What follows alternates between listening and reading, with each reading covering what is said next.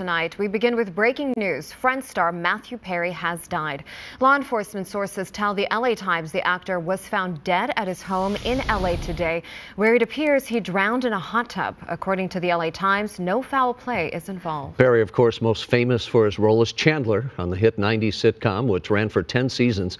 He also starred, though, and guest starred in countless other TV shows, including Boys Will Be Boys and Growing Pains, Beverly Hills 90210. Matthew Perry was just 54 years old. Joining us now on the phone is Sam Rubin. And Sam, of course, you've interviewed Perry many times over the years. His death obviously has shocked everybody tonight here in Hollywood.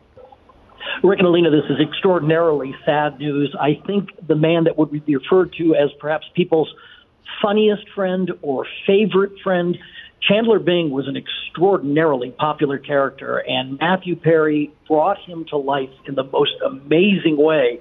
And what's also amazing is during that portrayal, which lasted for nearly a decade, Matthew Perry, for about half that time, coped with extraordinary addictions. In fact, in his tell all book, which was released less than a year ago and was incredibly revealing and painful, he talked about two or three seasons of the show that he doesn't even remember.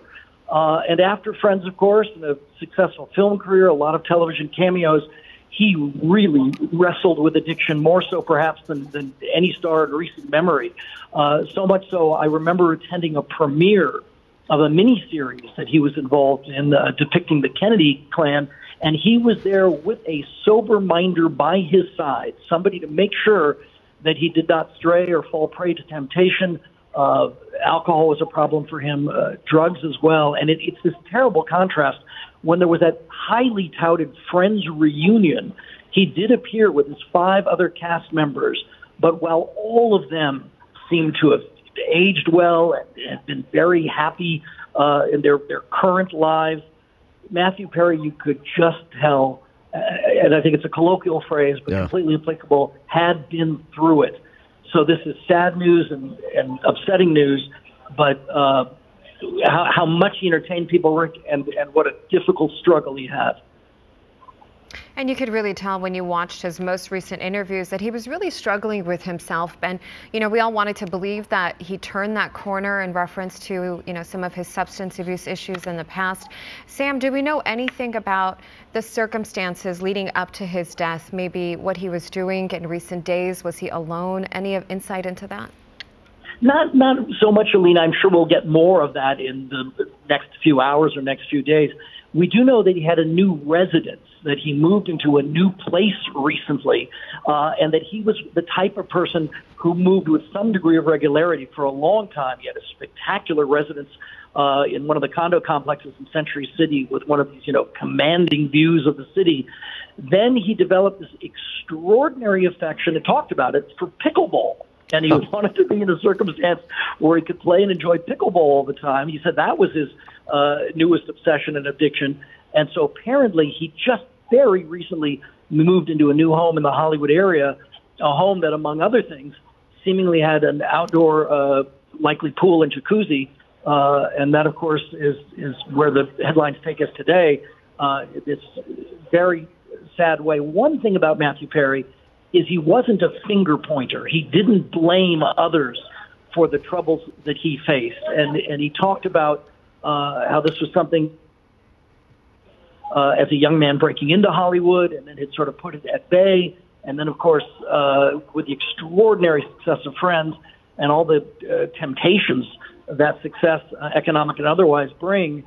Uh, I, I think he just succumbed to them certainly for a period of time. His his book which is is very good, and, and Friends fans and Matthew Perry fans, I don't know if they would take comfort in it, but they might uh, bring a greater understanding because it just details in the most extraordinary way uh, the battles he faced. Yeah. And you know, we we talk about the typical arc of rehab and the like. Uh, he literally went to rehab a countless number of times uh, it's been a difficult road for Matthew Perry for sure. Yeah, Sam, I know we've seen the, the cover of the book on the screen here. We know he had the reunion. Are you aware of any other projects that he had that were coming forward right now that he now will not be able to take part in?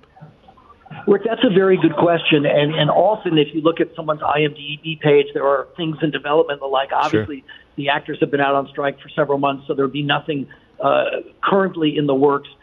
He also, because of Friends, uh, was completely economically independent. One of these people who truly would never have to work another day in his life. And often, when people have these addiction battles, they lose all their resources. He didn't. At least he was uh, careful with that. Um, so, so as, as to other work from him, there's none that I'm aware of. But you know, he was a creative person, a smart person, and had this extraordinary affection from a fan community. So uh, it, it's a big, big loss, and I think people yeah. are taking in a sort of you know shocked way. You know, as someone who grew up with Friends, I'm a big fan of Matthew Perry, not only on TV, but also he was a movie star. When you think about Fools Rush In and also the whole nine yards, he really captivated an audience. Are we uh, seeing any statements or how, how is Hollywood reacting to this? Are you hearing anything, Sam? You know what, Alina? I think this is the, the circumstance where people are taking in this news. Sure. First, because it's so startling.